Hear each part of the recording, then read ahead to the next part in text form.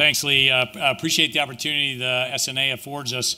You know, uh, people like, what are you doing doing two panels? Well, uh, there's a really nice thing about a panel is the moderator's only going to say a few words, and they, those guys do all the work. So it's not as much of a burden as uh, as you all might think. I always worry when we have a maintenance panel right after lunch, and so uh, if you see the person next to you nodding, just give them a little bit of a, an elbow, and I'll make sure these guys uh, keep it nice and lively. Uh, the uh, maintenance business is a lot different than building ships. You know, I was a shipbuilding PEO for a long period, long time there, and the nice thing about being a PEO is you go work to get a contract. The contract's in place. You go start building some ships. It's kind of, I won't say it's in the done pile, but then you go watch the ships being built. It goes for a long time. I've tried to characterize the maintenance business a little differently. So in my first year, I got there tremendous challenges across the shipyards, the RMCs, uh, technical, et cetera. Something like 50 ships in availability, and uh, we worked like hell, and we delivered all 50 ships there. None of them are still tied up, blessedly. Uh, and then the next year starts and there's 50 more.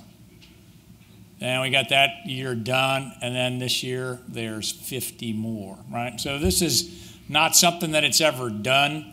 Uh, it's not something that you ever get to put in the done pile. Uh, it is a it's a going concern, and it requires that constant that constant uh, that constant work. Uh, the the Surface Navy Association is a view beyond the horizon. This one is right here, right? So there is no horizon associated with maintenance, although we are attempting to push our horizons out. I was talking to Admiral Davidson. I know he didn't talk much about maintenance this morning. I, I had spies in the room to find out how badly he uh, lambasted us. Uh, he was very kind, although, Rick, I'm sure you won't be. Um, uh, but we, we got in a good conversation about this in the maintenance business and, the, and in the overall sustainment of the fleet. And uh, what first is a, it's about balance, and Admiral Davidson would, I think, would uh, agree with this. The balance of how many deployments you're going to get out of the ship, and how long they are, and how often they are. How much training the crew needs to be ready for those deployments. How much training they need after the deployment to be ready uh, should they be called on short notice. How much maintenance you got to do to get the full service life of the ship, and in many cases, 10 or 15, or in the Coast Guard's case, 50 years uh, longer than what the ship was uh, designed for. Uh, how do you keep it ready for surge, and how does the maintenance community handle a surge, right? When you suddenly have a ship deployed that you thought was going to go into, into a shipyard, how do you sustain the shipbuilding capability? And then in our unique case right now, how do you reset a force that got overused? Right? We have a lot of surge built into our Navy, and for a year or two, we can surge like a champ uh, really isn't built. Our system's not built to surge for 10 or 12 or 14 years and uh, that reset. So that's got to all be done in balance. And every part of it's got to be strong or else it all gets uh, very, very difficult. And so what, I, uh, what I'm hoping the panel's going to lay out for you is how we're attempting to strike a balance with those parts of this equation uh, that we control. And then in the tactical fight of any individual availability any ship that's entrusted to us for, for uh, you know, putting back into the force uh, the, the balance of the performance of the individual maintenance activity. And there's a lot of different ones, and uh, where they are in their cycle of learning. Uh, that, that's a, that's a, uh, observable thing.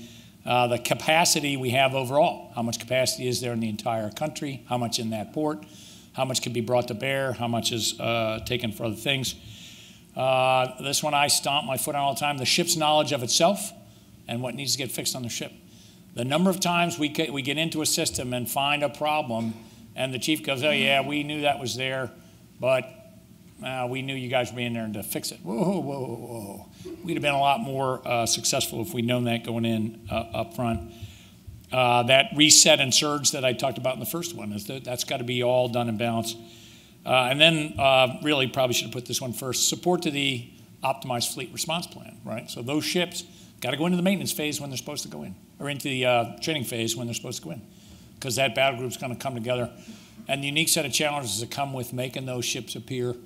Uh, in many cases, two or three of them out of availability simultaneously uh, will always challenge us. And so, all those things have got to be done in balance. And as again, I think the panel will be be good at showing you how that how that plays out across uh, all of the activities. Uh, the number one investment I think we've made on my watch has been in plan. Uh, and uh, anybody that's ever executed anything really hard, if you plan it right, it usually goes pretty well. If you don't plan well and you just take whatever comes, uh, you get what you would expect out of that that particular horizon. That investment in uh, on the surface for the surface navies, particularly, that includes a significant investment in SURFMEPP, and, and SURFMEPP now up fully functioning as a, as an equal partner with uh, carrier planning activity and SUBMEPP in that planning process that is so essential. Uh, planning of the individual maintenance, you know, uh, uh, disclosure of when the maintenance is going to be, how big it's going to be, and then the planning associated with maintaining as level a load as possible. Whether that's the, the old war we do with the shipyards uh, and the new uh, six year or nine year, I don't know which we're hopefully 30 year, I think, uh, if Mr. Sackley gets it right, maintenance and modernization plan.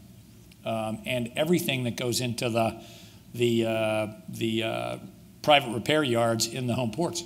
Uh, we had a couple discoveries over the last year that we should have planned for and didn't because we didn't even really have them on our horizon. Things like topside work on aircraft carriers that's done by the, the uh, repair, repair yards in the home port to the, sometimes the tune of 100,000 man days. And we were surprised. That's obviously on us. Uh, our planning wasn't up to snuff, and it is. Uh, we're working to make that uh, make that better uh, every day. So the lineup I got for you, Admiral Rick Berkey is going to give us uh, kind of fleet perspective on OFRP and, and how we're doing, where we need to do better. I'm sure we'll hear about that. Uh, Moises del Toro is in charge of the program side of the surface of the uh, submarine maintenance uh, pot. And like this morning, everything's connected to everything. You go in, you find out that Southwest Regional Maintenance Center is a principal contractor for the SSNs being maintained over on Point Loma. You're like, well, I didn't know those were connected together. So Moises will uh, give us that view. Mark Whitney will talk about the challenges of our naval shipyards uh, for predominantly carrier and surface ship maintenance or submarine maintenance. But some of you may not may know this or not know this is the planning yard for several of our classes of surface combatants are those public shipyards. And when they're resource challenged, guess what? The big deck amphib planning is a little bit on its uh, is not as good as it could be right now. Of course, you've all heard Bill Galinis a lot. If you have anything to do with surface ship maintenance, uh, Bill give us uh, his perspectives. And then uh, a special treat. Uh, Bruce Baffer joining us from the from the Coast Guard. Bruce and I built ships together for a number of years. Went to a series of uh, shipbuilding forums around the around the world. Uh, he, like me, finds himself in the maintenance business, and he's going to try to pull some of that together with uh, the idea of maintenance as a requirement, making sure you got the requirement right. I, I would put that in the planning and uh, and uh, hopefully tie a bow on it. So, without any further ado, I'll turn it over to Rick, and we'll move down the panel. Go ahead, Rick. Okay. Good afternoon. Good afternoon. Can you hear me? sound like it's on. Can you hear me in the back? Oh, there we go. Sorry about that. It's a little bright up here, so I had to make sure I hit the buttons right. But uh, Admiral Hortus, thanks for the uh, the opportunity to speak here today. It's uh, I really appreciate uh, the, the, opportunity to kind of talk about where we're at in the maintenance side of the house. Uh, those of you have, you have heard me speak before in the past, the optimized fleet response plan, which Admiral Hortus has uh, talked about there, and the word balance, I think, is the important one there for us in the fleet. So, what are we trying to balance? We're trying to balance maintenance with training with operational time. So, when Admiral uh, Gortney put this together a couple years ago, the, the idea was to get for the sunk cost of maintenance and training that we do for a strike group or for an ARG or for a submarine uh, that's getting ready to get uh, deploy, what's the maximum operational time that we can get out of that force for that sunk cost of maintenance and training because that's the bulk of the cost to us really in the Navy is the maintenance and the training piece. The, deployment piece and the operational side is really the minimal cost. I mean, that's only about about 10% of the cost, 10 to 15% of the cost of our total budget in the fleet is to do that. The bulk of that cost, the 70%, is just setting, just owning the owning the platform and getting it ready to go. And that's the maintenance of it, that's the modernization of it in order to make it right. So that maintenance phase that's part of the operational fleet response plan is very important. The more we can get done successfully in that maintenance phase, then the less worry or the less time I have to worry about the sustainment phase as we go through training and we go through deployment. Ships that go through uh, their, their maintenance phase successfully, and we have had several that have gone through successfully, uh, have been uh, easy to maintain in both the training phase when they go up for exercises or when they get ready to go deployed in their workup cycles and on deployment. The number of CASREPs is less. Uh, the ships are do- doing much better. They do better on their exercises. They do better in their INSURV uh, cycles that they go through. So it's, it's clear that we got to get this maintenance phase right. For the most part, we're getting the maintenance done. The question right now, though, is how to get it done in time, in the time that frame that we have in that maintenance cycle. And that's the challenge that we've had for many of the guys here up on the board, is getting the maintenance done at the right time, and getting it as, as the schedule goes. The OFRP does offer us flexibility uh, from the old plan that we had before, because we can, we, if we know ahead of time, because we're looking so far ahead, of the amount of maintenance that we need if it doesn't quite fit into the maintenance schedule that's currently planned. Like say, if- say it's a six-month availability that is scheduled, and we go and we look at the work and we see it's going to take eight months to do that work, then we can go ahead and schedule that earlier and take a look and, and dig into, take some time into the sustainment phase in order to get that maintenance phase right, to be able to deliver the ship the capability that we need and get the, uh, the deep maintenance done to get that ship out to expected service life. So that's the whole idea. The OFRP offers us flexibility in getting that maintenance right, and it's up to us in the maintenance community in order to be able to get that maintenance done correctly and to get it done on time so we can get it matched in to get the training done and to be able to get the ship deployed and, uh, and work up. So successful OFRP depends on that maintenance phase. And what we're looking at now, what we've been working with NAVSEA on is look, is, as Admiral Hilarides said, uh, maintenance tends to be right in front of your face if you let it. We have to get better at looking out further ahead, one in, in terms of the activities themselves, the LMAs, whether it's the RMCs or whether it's the shipyards, are they positioned to be successful? Uh, do they have the, the milcons right? Do they have the manning right? Do they have the training correct? Do they have the tooling? All those things. We're looking years out in advance now in order to get those right to be able to prepare the ships, shipyards or the, or the RMCs in order to be able to be successful in executing the work that is on the horizon. And then, as you, many of you know, for each of the CNO availabilities, it's about a two-year window in front of that where we start that planning effort. Uh, we haven't done as well as we could in the planning side of the house uh, in the recent past, and so we're, we're working with NAVSEA to try to take that focus shift back to the left and drive that planning focus uh, further and further to the left in order to get it right.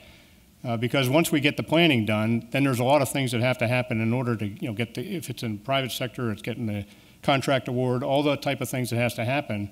In the naval shipyard side, it's getting it balanced right into the, into the capacity of the shipyard. So the further ahead that we know what the size of that availability is going to be, what the duration of it is going to be, where it fits into the OFRP, and where it fits into the cycle, the better it is for the LMAs to be able to plan for when that work's going to be done and to be able to have the capacity to be able to support it, whatever that case may be. So that's the driver that we're working towards. Uh, how are we doing? Uh, well, quite frankly, we're, uh, we're at about 30%. We're hitting about 30% right now.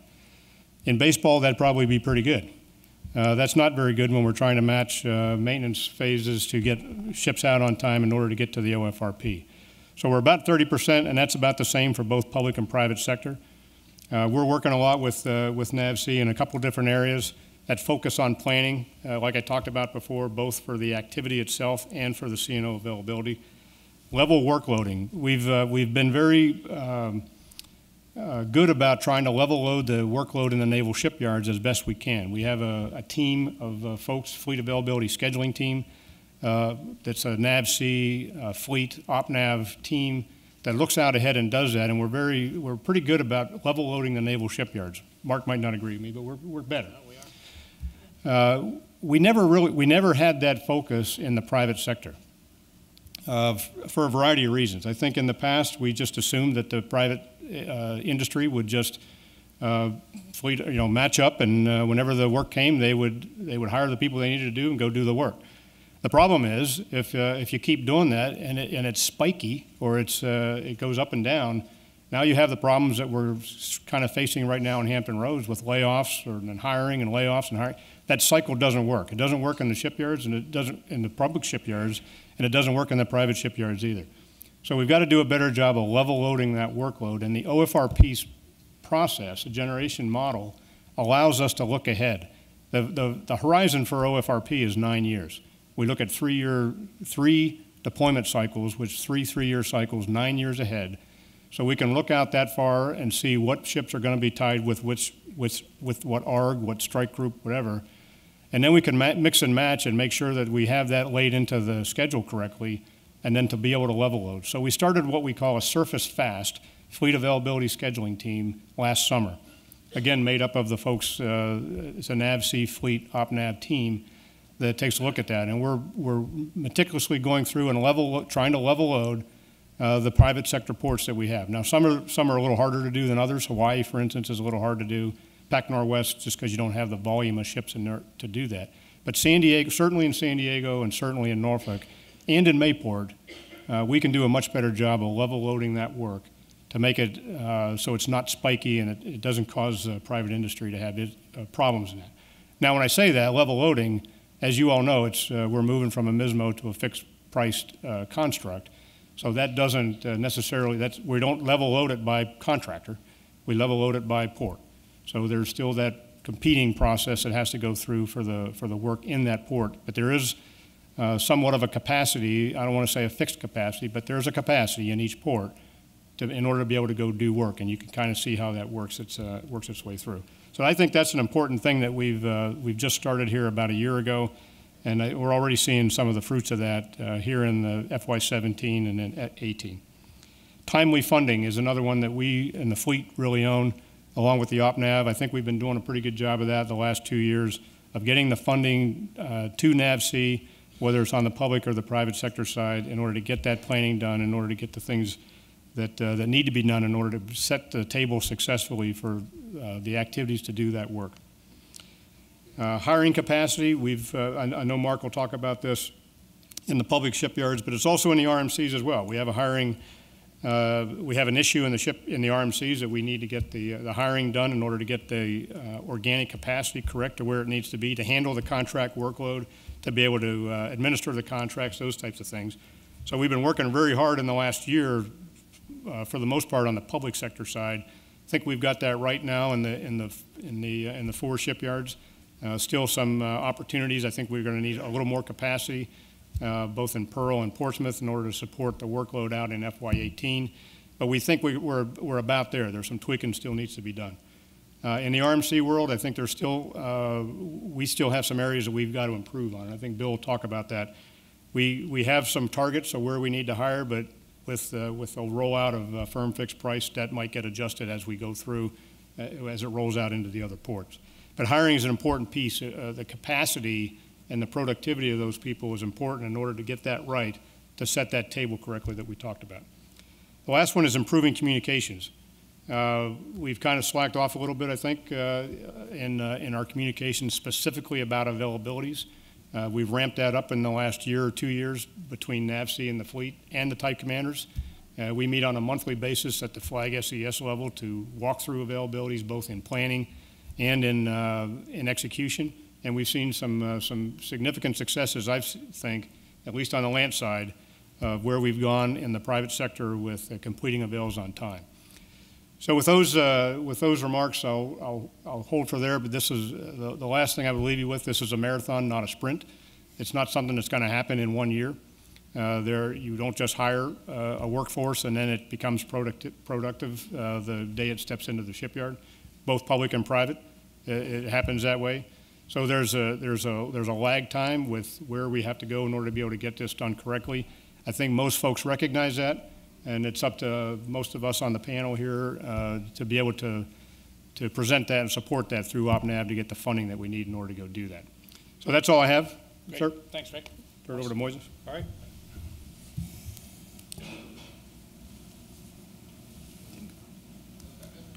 Say again? Oh. Mic's working, but the green light's not working. Sorry. All right. Okay, you have the one slide up here. So, uh, so thanks for the opportunity to come talk to you here. Uh, so again, uh, Moises del Toro, NAVSEA 07. So I, I, one of my portfolios, of course, is the submarine in-service side of the house. So I'm here to talk to you about submarine force sustainment uh, to a bunch of SWOs, but, but I think a, a, a lot of what I have to say probably applies equally as well to the surface force as it does the submarine force. So I'm going to talk to the, to the left-hand uh, part of this slide first, right? So this slide shows the correlation of lost A sub O and operating costs versus the age of the submarine force, right? So on the very hand left, on the very left-hand side of, of the chart, we have our Virginia-class submarine. So again, uh, new class of submarine, uh, a number of blocks, right? We're in the block three, contract for block four. So, so some of the challenges that we're, we're seeing here uh, from, an, from a sustainment and an in-service standpoint is taking that new design, right? So as the blocks, as we go from block one to block two to block three, it's backfitting the new design changes to the older block classes of submarine and how you sustain that for the life of the ship as we continue to build newer block uh, Virginia class submarines. Uh, another, another challenge that we're seeing is the transitioning of the in service support of those Virginia class submarines into my, my program office, right? So, so PMS 415 builds the submarines, they, they care and feed until after the PSA, and then there's a handshake between 450 and PMS 392. And so that transition and when you transition uh, is, has been complicated. Uh, it's, it's getting better as, as, we, uh, as we move and, and, and mature the transition of Virginia class submarines over to 392.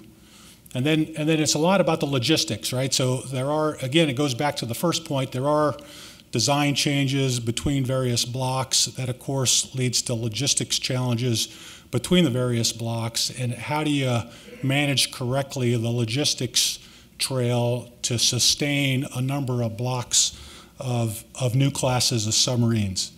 And then obsolescence issues, right? So, yes, I mean, it's a brand new, Virginia is a relatively new submarine, but again, we're facing, using uh, COTS equipment, you're going to face obsolescence probably a little more quickly than we did in the past when, when we weren't using COTS type machine, COTS type equipment. If you go to the far right, uh, I, I, show the, the aging uh, SSBN, SSGN, and really the first flight class submarines, right, and the challenges that we see there. So uh, again, it's, it's a balance. It's all about risk taking, and so it's how you get the most operating availability out of those submarines on the far, far right-hand side. So looking at the class maintenance plan strategies to balance the maintenance and the operations of those ships. Uh, one of the things that we do in the submarine force is we have a material condition assessment. So as you look at some of the older first class SSNs, so, so how do you extend the operation interval and the, op, the operation cycle and the operation interval of those submarines as they get older? So there's a process in place between the fleet and uh, the program office to go off and look at what the risk is involved, what maintenance uh, can we defer, or what maintenance must happen in order to extend those, those operating cycles.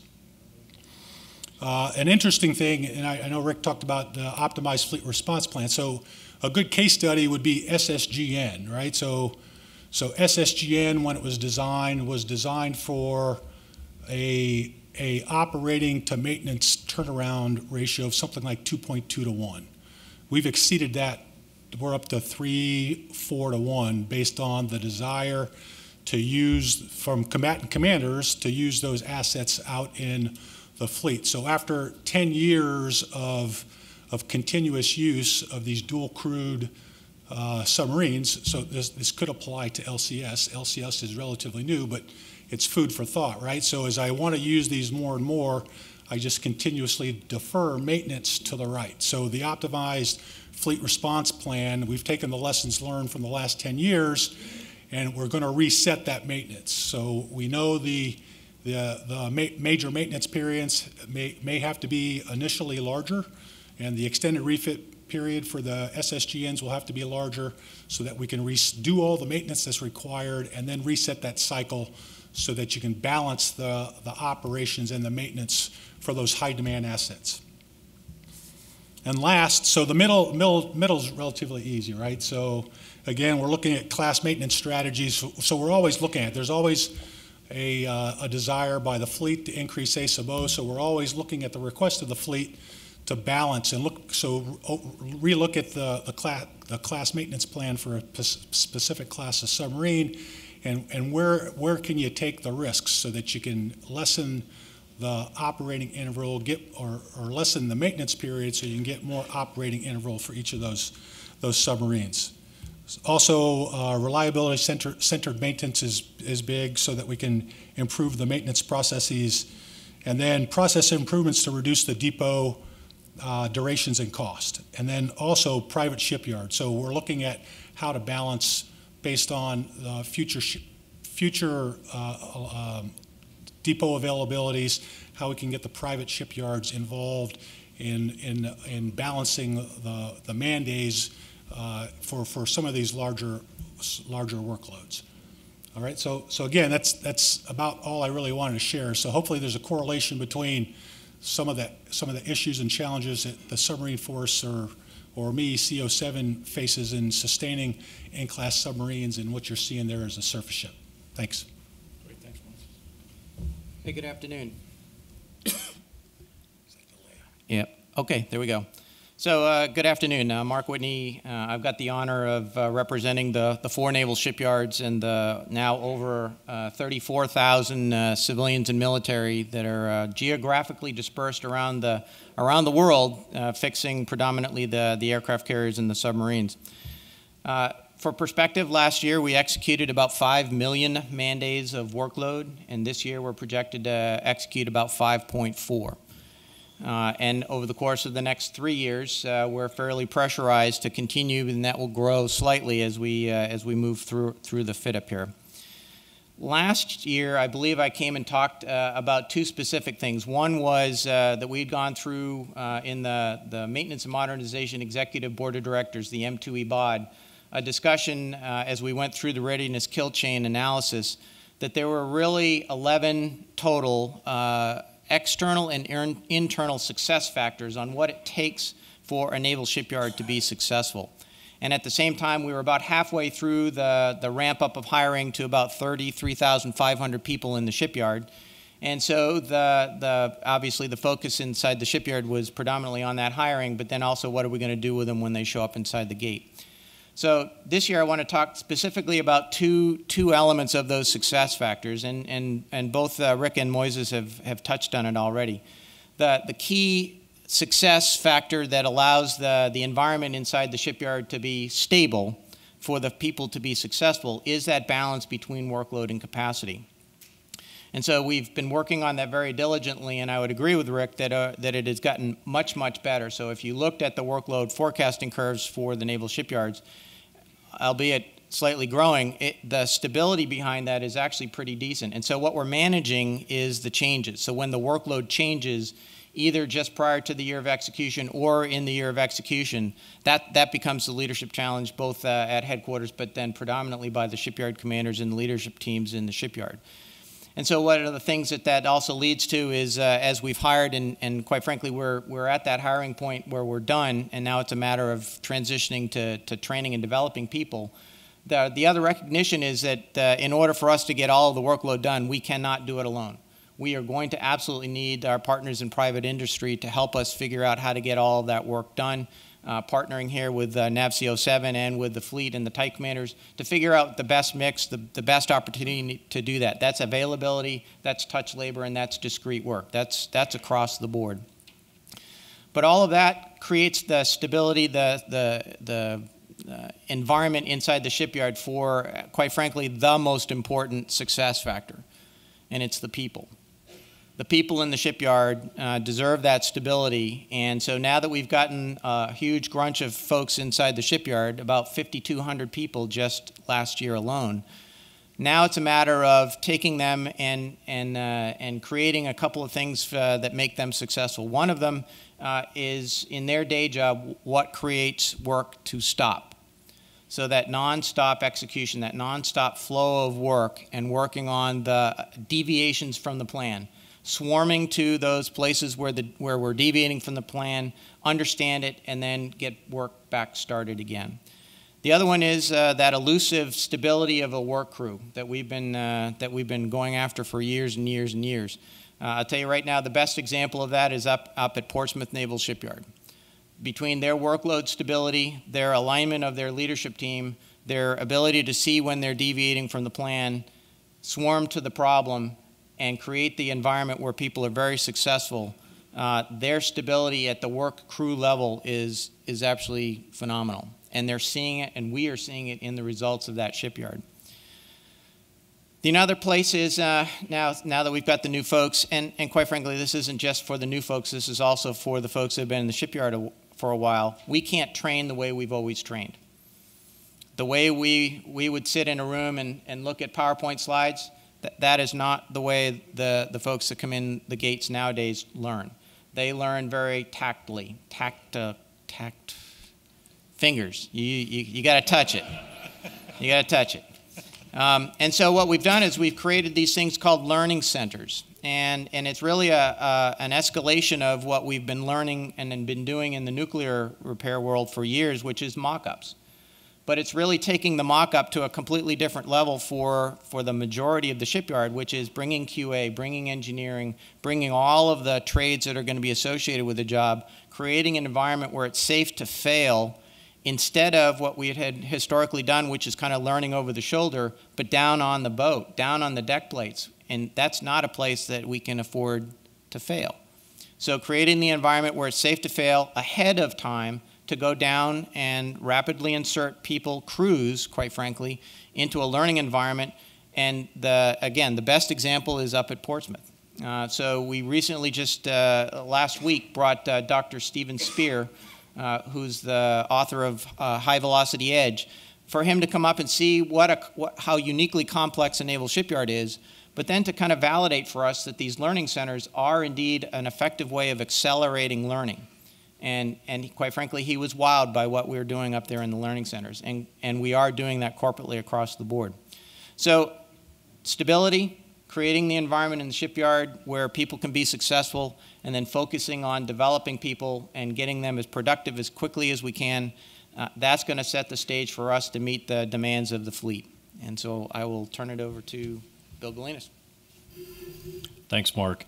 Hey, good afternoon. Uh, again, uh, I really do appreciate the opportunity to be here, and I represent the uh, uh the SEA 21 organization as well as the regional maintenance centers. So uh, that's our maintenance and modernization program offices, uh, the team that sustains the fleet, inactive ships, the training systems, as well as a lot of our overseas foreign military sales cases, and then certainly on the waterfront, the the men and women of the Navy regional maintenance centers that actually execute the uh, the, the maintenance and the modernization work with our, our private uh, industry partners. Uh, so I, I, I want to start off just a little bit, uh, and I'll talk about the organization in a second, but I want to start off a little bit from last year's, uh, and I'll combine a little bit of the SEA 21 and the RMC priorities that we set for ourselves last year.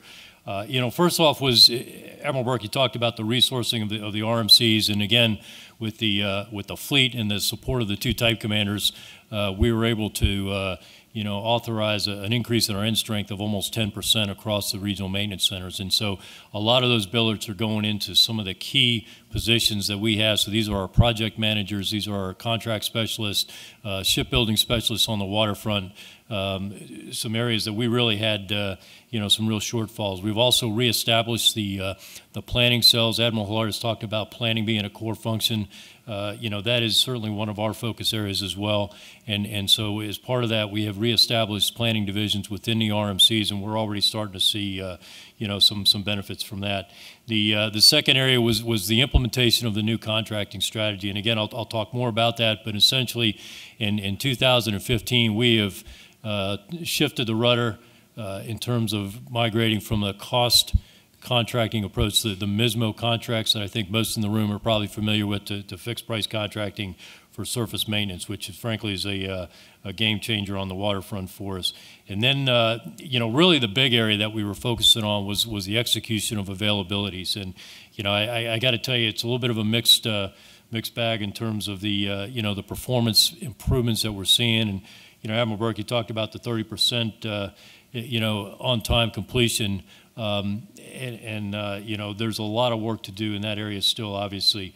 Uh, the, the, good news is the uh, one of the things that we did to that end was the, the FAST process that, that Admiral Berkey also spoke about. You know, and, and this really kind of goes back. There's I would offer there's there's a couple of different elements to this, and, and part of it is it starts out two years before the availability with the avail duration effort that we do, really looking at that class maintenance plan work that's coming into an availability, as well as the modernization work. And, and from that perspective, you know, you, you probably really have um, your critical path and what the driver is for the duration of the availability. And so uh, in the in the SEA 21, it's led by SEA 21, the 407 organization. Uh, a lot of good work there to get the avail duration uh, analysis right, and we really just kind of finished our second year uh, with that part of the effort. Then the, the follow-on part of that is really the workload forecasting piece, which then feeds into the FAST process. But you know, this is kind of the workload charts, the sand charts. I think most of us are familiar with to to talk about workload forecasting. And as we as we came out of uh, FY14 and we started looking at, at, at, the workload, you know, we realized that, hey, we did a lot more work than we initially planned. And as we really kind of started digging into this, what we found is, hey, we were not account accounting for all of the work that was being done on the waterfront. We had some significant gaps in, in collecting all the modernization work. We were missing some of the uh, the carrier topside work that the that the RMCs do, uh, working with uh, with Admiral Whitney's team in the in the public shipyards. Uh, in some cases, we had uh, new construction work, PSAs, and stuff like that that were done in in fleet concentration areas uh, by the repair yards that we weren't accounting for. So, you know, rolling all this work in to the to the workload charts, and then you know taking those workload charts and trying to smooth that. Uh, and again, a lot of progress, I think, probably more so on the East Coast at this point. Uh, you know, we've got some work to do on the West Coast, and, and we're we're making progress there. But the um, you know from a cost perspective. Uh, for uh, coming through from from FY12 through the end of 15, you know, we've driven the delta between what we estimate the cost of the availabilities to be in the workload agreements, and these are signed generally about the beginning of the fiscal year, uh, to through execution from from 148% of the, the, the, plan versus actual down to uh, just less than 20%. So we're so that that piece is moving in the right direction. What's what's not moving in the right direction is the lost operational days. So this is the you know start on time, finish on time piece, and uh, and frankly in in 15 we actually saw that trend go up. And, and part of that, I, I really believe, as we kind of went back and, and tried to assess ourselves, was, was an overloaded condition, uh, principally in, in Norfolk and San Diego, different parts of the year. But, you know, we, we just dumped a ton of work into the private sector that was not well planned. And, and that's, I think, what, uh, what drove some of that, uh, you know, even though we, we kind of had a, accounted for that in, in the workload agreement, it wasn't well planned as we started the availabilities. And then the last thing that we, we really kind of look at is for the mandatory technical work that we have to do within each availability, how are we doing there? And, you know, we've, we've driven that down now to less than 2% deferrals across the enterprise. So I think we're, we're moving, uh, we're moving the needle in the right direction there. But it's at, uh, you know, it's that start on time, finish on time piece that we're, uh, um, that we really have got work to, uh, to do.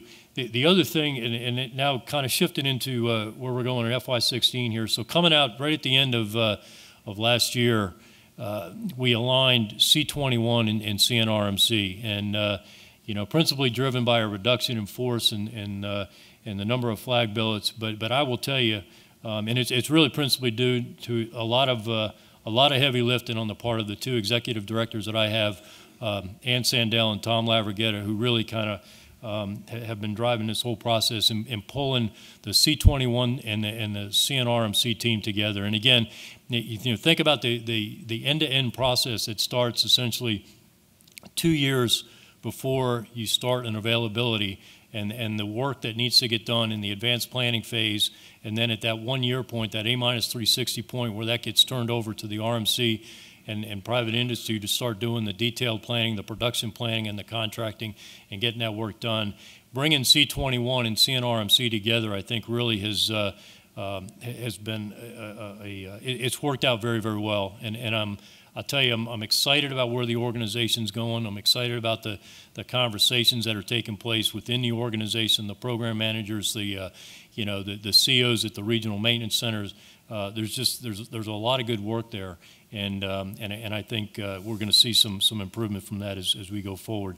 So again, kind of looking forward into uh, in, into FY16, and so you know we've we've kind of set across the enterprise for ourselves five key tenets or, or focus areas really, um, and and the first is the execution of the of the end-to-end process and and uh, uh, the, the, modernization and, maintenance availabilities, and, and this includes not just the CNO avails, but it, it's also the smaller avails, the, the CMAVs, the emergent avails. And I will tell you, we do a tremendous amount of work on surface ships and, and CMAVs, and I, I think most of the people in the room here recognize that.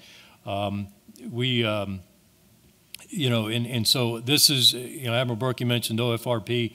Uh, I would tell you, I think the, the maintenance work that the teams do out there is really the, the foundation, and, and we've got to finish these avails on time, uh, get the ships in a, in a condition that they can get into their training phase, you know, unencumbered by ongoing maintenance uh, maintenance issues, and, and, and so that's that's kind of the, the focus there. The um, you know part of that is driving a, a I'll say a, a, a culture of process compliance, and and uh, more often than not, uh, you know, we've, we've, we, we tend not to, uh, you know, to follow the rule set that we set for ourselves. We, we generally have good processes out there. Uh, we don't follow them all the time, and we just we need to continue to uh, to challenge ourselves to do that. We've got um, uh, Vice Admiral Rowden is, is hosting uh, the second maintenance summit uh, of his tenure here coming up the end of February, um, and that's going to be a specific focus area for that. And, and uh, you know, we're going to talk about how we get better collectively across the team, and it's a, you know, it's an all-hands sport really. It's, uh, you know, it's, it's the type commander on how they prepare the CSMP. Uh, it's the port engineers, how they, they screen work into availabilities. It's our project teams, how that work gets, gets brokered um, and, and planned as, as we start going forward. And, and so we've got, uh, uh, we've got some, some work to do there. The, um, the other key piece of this um, is, is really our, our industry partners.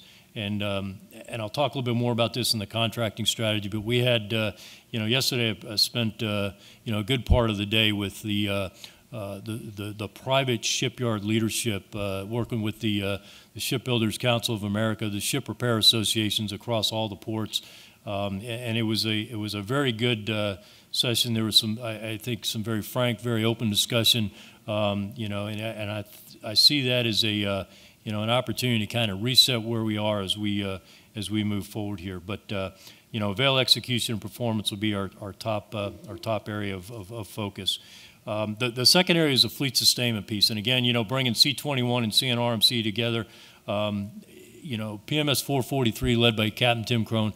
I mean, that, that is the organization that, uh, you know, I, I, want when the, when the type commanders or the, the fleet has an issue uh, for, with, with surface ships, I, I, want them to have 443 on speed dial.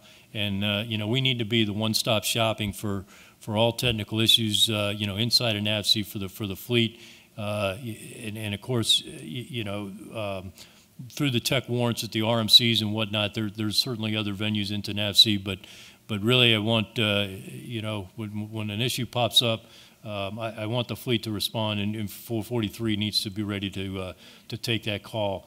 And uh, you know, there's a lot of work going on in that area.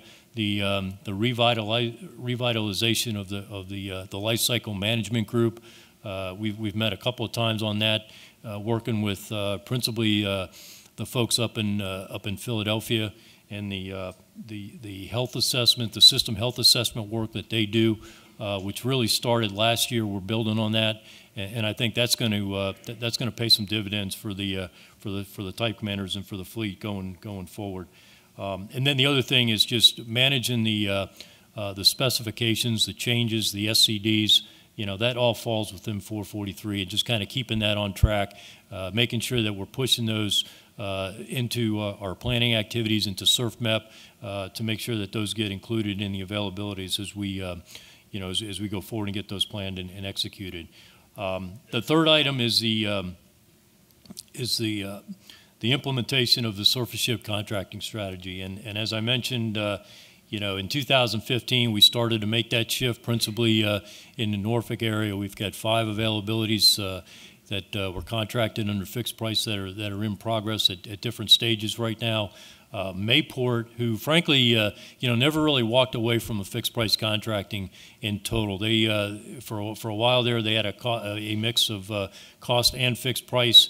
Um, so that's really kind of, if I had, you know, a center of excellence, if you will, on the on the RMC side, they those are the ones that have the experience with the waterfront execution piece, and and so we've been able to kind of leverage them. But uh, they have shifted over fully now to uh, to fixed price contracting. And, uh, you know, in, in particular, as you know, we, we shifted uh, the Iwo Jima ARG down to Mayport uh, over the last uh, 18 months or so.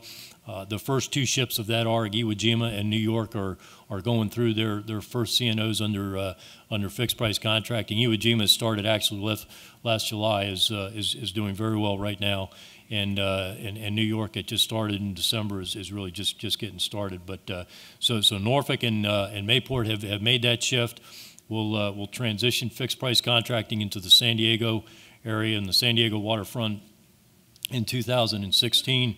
And then uh, uh, the Northwest and, uh, and Pearl Harbor will follow it at, uh, at some point in the future. Actually, I'm, I'm sorry, Northwest uh, also will contract for Gra- uh, Gravely as a, as a fixed price contract in 2016. So, so that, that effort is, uh, you know, the execution contracts are, uh, are all coming in now with fixed price. The other thing that we, we finished up in 15, moving into 16, is the, uh, is the planning activity. So really two parts to fixed price contracting.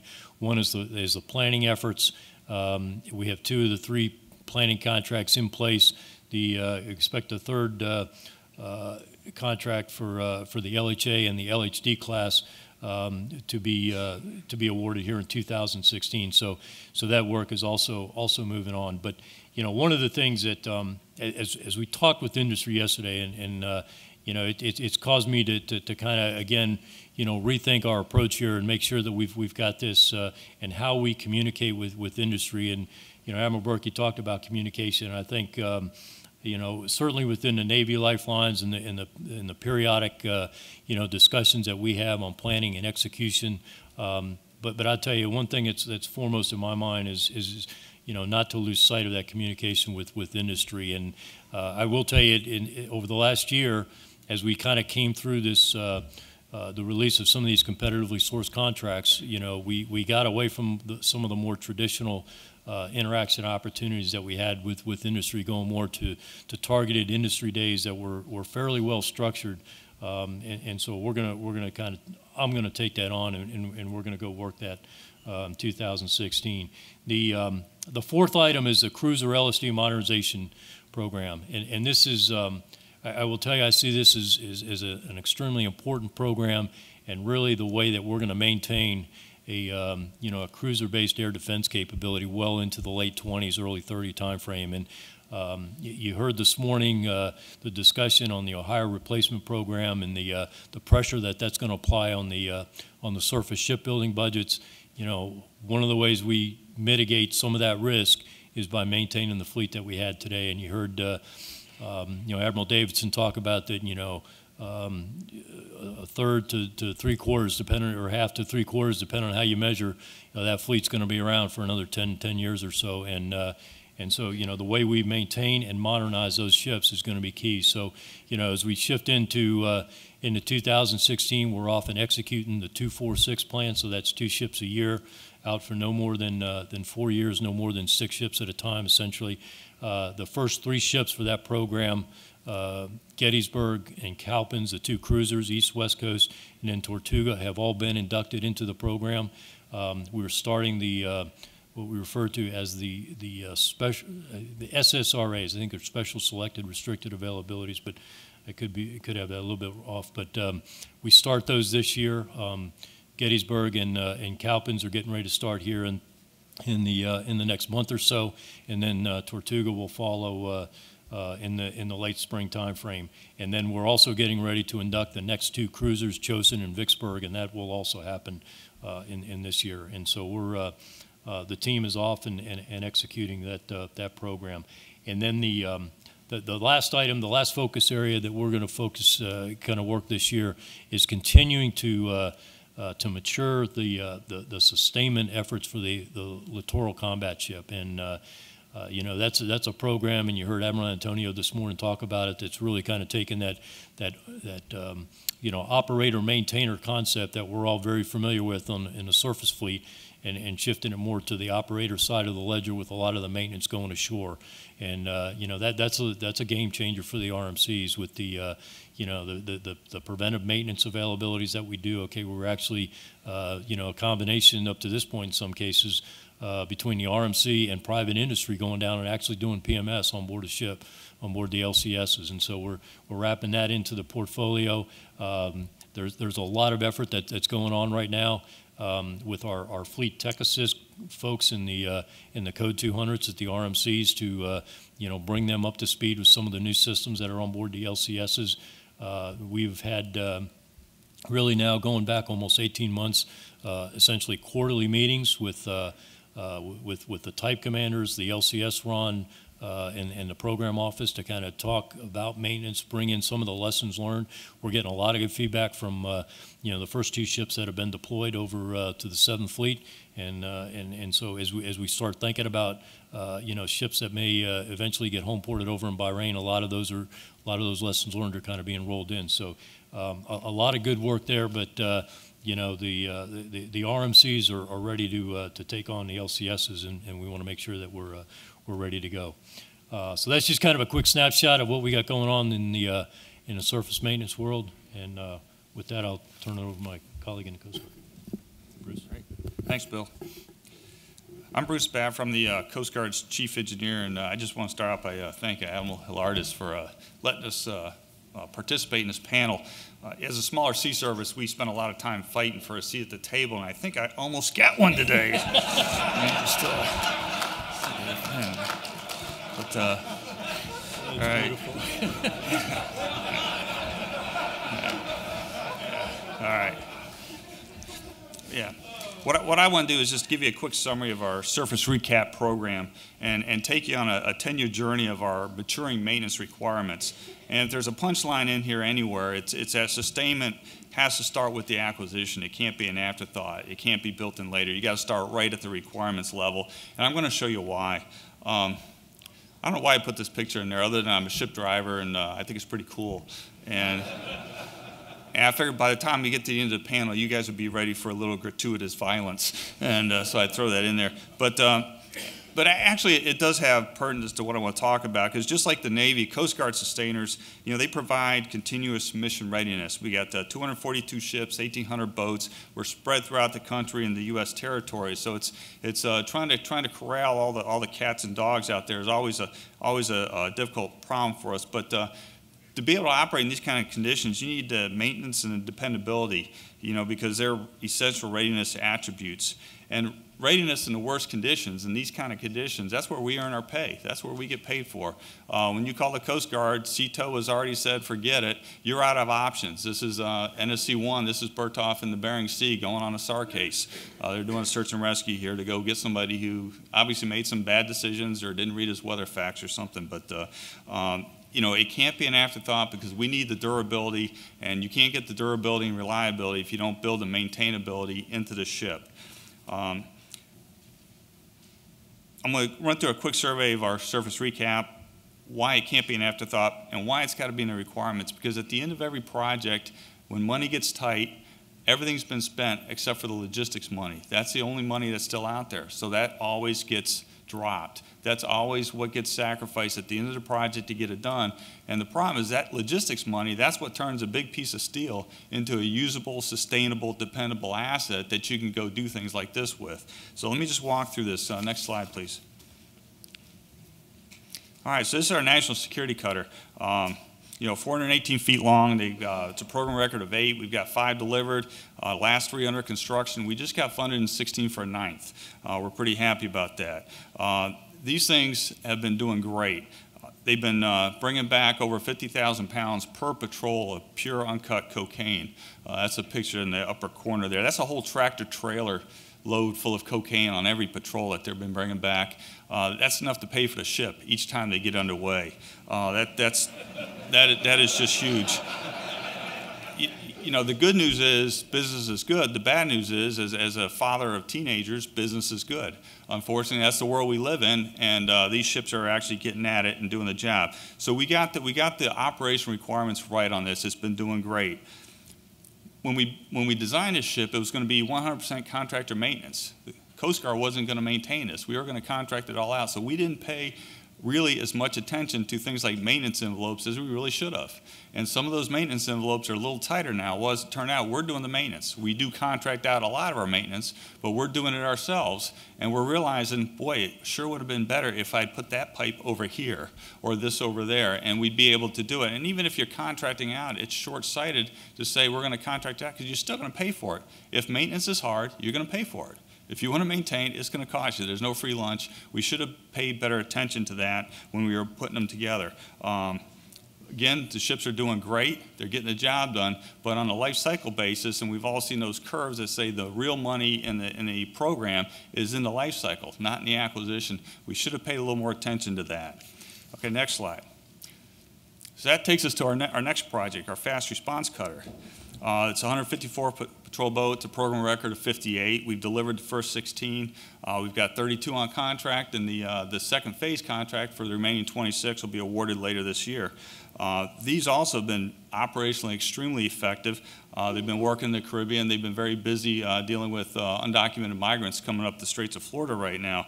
Um, we've got good maintainability on these. The engine rooms have soft patches.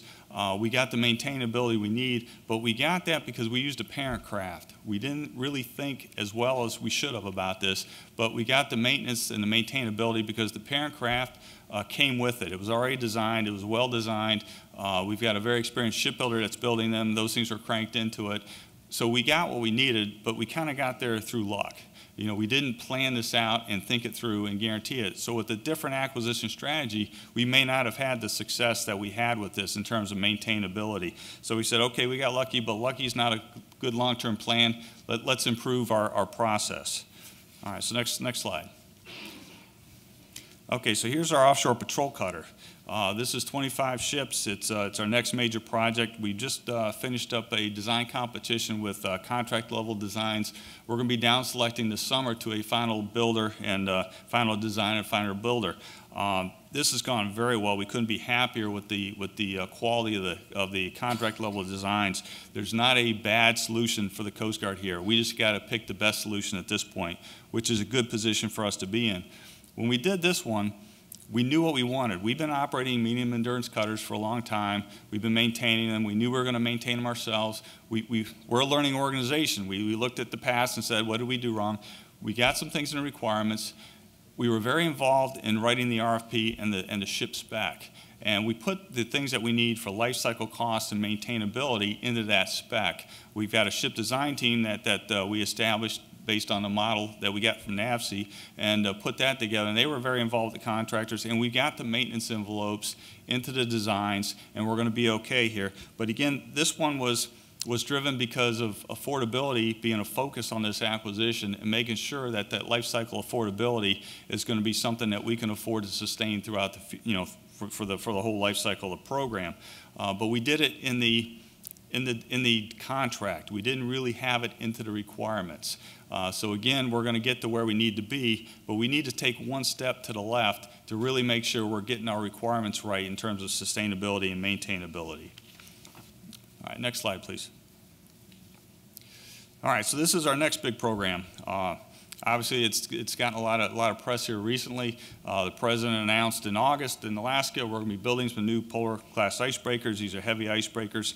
Uh, in this one, we said, okay, we're going to get this one right. We're doing the requirements right now. It was a, it was a big program to do the requirements we looked at it and we said, what does this ship have that's unique in terms of sustainability and maintainability requirements? And it really has very unique requirements. It literally has to go through the hottest, saltiest, most open parts of the earth to get to the coldest, most inhospitable, less supported parts of the earth.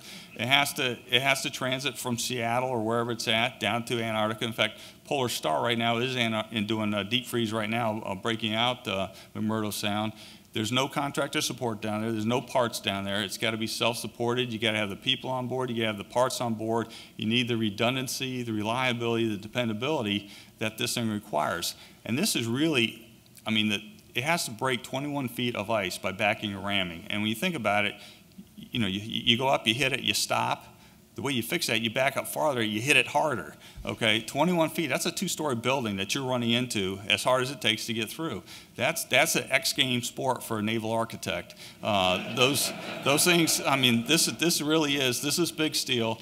Um, th- this is this has got to and it's got to be able to do it down in Antarctica without throwing a blade, without having a, a propulsion casualty, because you need all 70,000 horsepower to break that ice and then get home. Uh, without help, without tech support, without any kind of, uh, in fact, even the internet's not very good down there. It's hard to even get emails down there right now. Um, so we just finished the requirements, and we put those things right up in the requirements. You know, the, be self-supporting, to have the environmental considerations. This thing's going to be working in pristine environments.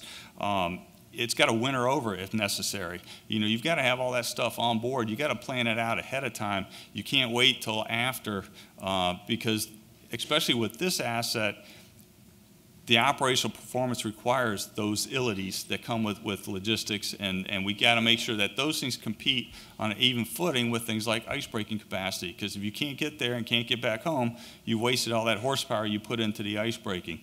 Uh, so this one, we got that right. Uh, the, the ORD is done, the operation requirements document's done. It's, it's moving forward, and uh, we're looking forward to a, uh, a real good program with this. Um, so that's just kind of our, our 10 year profile where we started from, what we learned, and how we ended up. Now our, our logistics and our sustainment and all those abilities show up in the requirements in the award so they can compete with everything else when money gets tight at the end of the project. Because just like everything, it'll get tight at the end. We know it, but uh, we'll be ready for it. Thank you. All right, give the panel members a round of applause.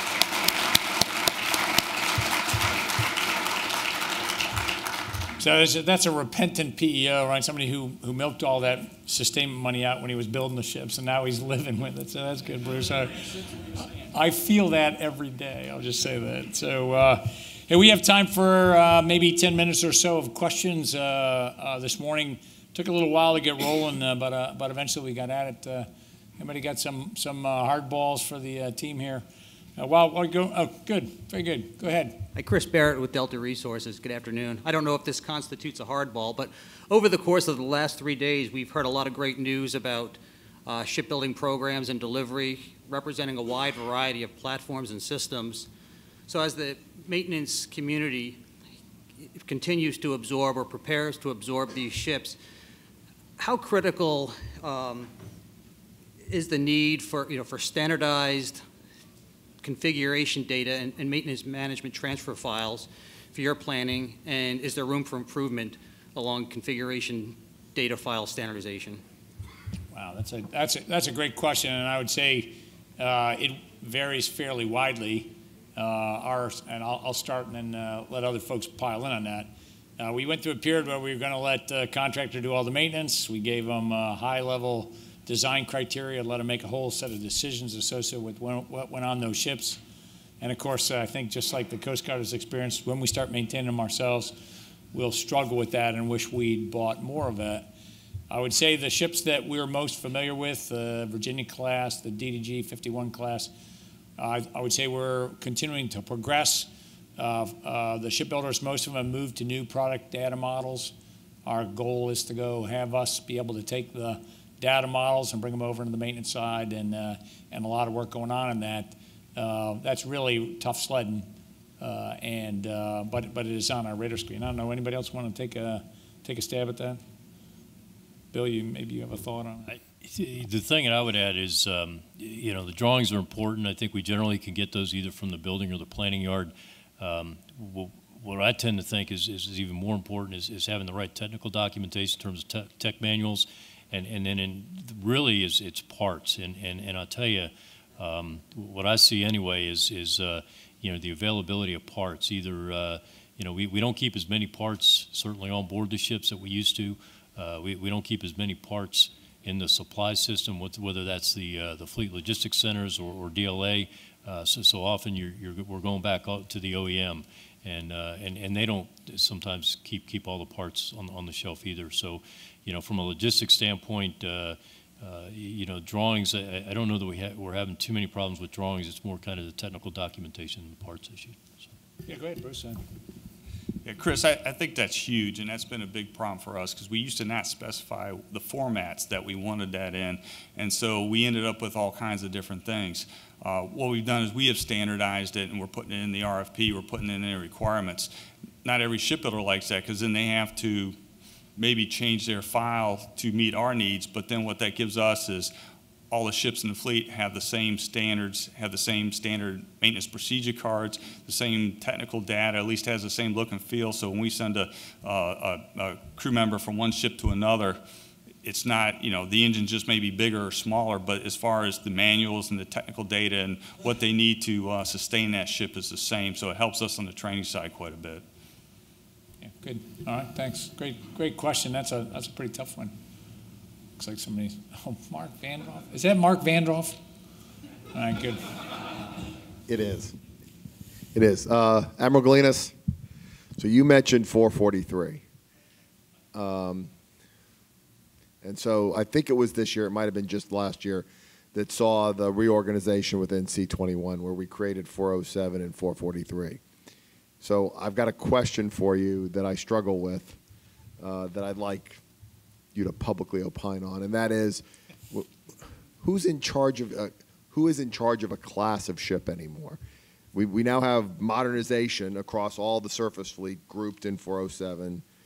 We've got sustainment. Do we not care? Is it do we not care that there's issues handled class by class, and we would rather handle it by functional activity, or is there someone in charge of the Navy's cruisers or LSDs, or, or do we not care about that? Because we used to care, and now it seems like in the current organization we don't anymore. We build them by class, but we don't take care of them by class anymore. So why? That's that's my my question for you, sir. Yeah, no, that's, that's a good question. So um, the short answer to your question, Mark, is, is yes. Uh, Yes, we do care about the class, and yes, we do have organizations within 443 that, that manage class, okay? So we have class maintenance teams uh, within 443. Uh, What I would tell you uh, is, is really, and and we're, we're looking at this now, and it's kind of, we had this discussion last week, actually, okay? um, About how robust and how well-staffed are the class maintenance teams, and do we have the right people on, on each one? So, um, you know, you should be for, you know, the DDG 51 class, uh, you could go to the DDG 51 class maintenance team within 443, you know, and, and they ought to be able to answer your question. Now, I'm not sure that, frankly, we're, we're there yet. I think the reorganization that was done in SEA 21 a year or so ago, I think it was done for the right reasons, and I think it is the right organization. Okay, we've kind of taken, you know, on the maintenance and modernization piece, kind of the, the, the best of breed, if you will, between uh, the old 400F and the 470 organization, and kind of pulled those together. And uh, you know, Captain Zobel, Ted Zobel's doing a lot to kind of standardize that process across the enterprise. Uh, Tim Crone's kind of doing the same thing within the sustainment and the readiness piece in 443. And so uh, those teams do exist. And then, and then frankly, even on the modernization piece, there's a, there's a parallel organization, a class organization within 407. Okay, so we've almost got like two parallel organizations. There's a sustainment piece and then a, a modernization piece, but those organizations do exist. And we, and, and again, I would just offer we need to do a better job of advertising that and what services we can provide and, and being, I'll say on our side, maybe a little bit more proactive in, in going after issues to go solve them. I, uh, I'll say that there was a lot of skepticism about uh, my plan to combine CNRMC and SEA 21. Uh, the first storming meeting, I'll never forget standing in front of the four RMC commanders and the program managers in SEA 21. Uh, so there were some slings and arrows in the air, as I recall. Uh, the, the, what we did is we locked them in a room, we burned the, burned the bridge behind them, tossed pizzas under the door till they came up with the structure uh, that we thought would work. Uh, it is a work in progress. It's, uh, it's the kind of thing that's got to adjust. Uh, it's got to adjust to the differences in the classes. Again, the DDG 51 class, fairly well supported by planning yard services and things from the build yards. Uh, as, as Bill begins to bring the LCS and 505 into that, you're going to have a completely different set of structures there. Uh, it is also a nav NAVSEA wide team sport. The SEA 05 ship design managers, the Warfare Center in service uh, agents. It, it's not as clean as there was a type desk with 100 people who knew everything about the class. It, it will never be that clean. But I think the organizational structures in place is about right. And uh, I think I know who's going to do the next review of that to help us come up with a better structure. Starting Monday. Yeah. All right. That's great. I think I got time for one more question. Thank you so much for offering it up. Yes, sir. Uh, Commander Stephen Melvin, longtime listener, first-time caller. Um, Admirals, it's, it's been about 10 years since we stood up the, uh, the Surge Main program to kind of take some of the spikiness out of those, uh, those graphs y'all were talking about. But uh, based on your, your discussion today, it sounds like we're still having some spiky graph issues. Uh, do you all have any plans to expand or enhance that program at all to help maybe uh, uh, take some of the load off uh, of industry, move it over to your reserve component, or uh, what, can you just speak to that, please? Sure. Yeah, Surge Main, from my view, and I didn't know a lot about it till I, till I became the commander, is one of those wild successes that I probably am guilty of not talking about enough. Across the, the public shipyards and regional maintenance centers last year, uh, 15, almost 1,600 man days. I think that was the date, the, the, that was man days of work that was timely work parachuted into the middle of a big problem, uh, predominantly done out of the reserve component. Uh, the only problem with Surge Main really is the, the amount that we're ever going to get out of it. When you compare that against the number of man days and the totality of both the public shipyards and the RMCs, it doesn't, it doesn't get very big. But what's best about it is that you can put it in at just the right time. And, uh, and I give Surge Main leadership a lot of credit for having aligned those those reservists such that when we snap our fingers and say, okay, we need a team of 40 guys on the, the Bush, on the Mitscher, on whatever ship we need, uh, generally they can produce the right set of skills at the right time to go really help us out. Um, uh, probably the perfect use of reserve sailors and has created in the reserve component an entire cadre of uh, ship engineers, you know, the mechanics and electricians and stuff who are available for that very bad day when we have to activate them all and bring them into the into the active force. So uh, uh, tremendous success, and you know my hats off to all the Surge Main uh, leadership for having made that possible. Anybody else got a Surge Main story that's worth? Uh, great, great. Thanks for asking that question. And uh, and I know Admiral Braun talks about Surge Main all the time as they reserve just celebrated their 100th anniversary. She sees that as one of the big successes of this year. Well, thank you all very much for your attention, and, uh, and we'll see you around SNA. Thanks.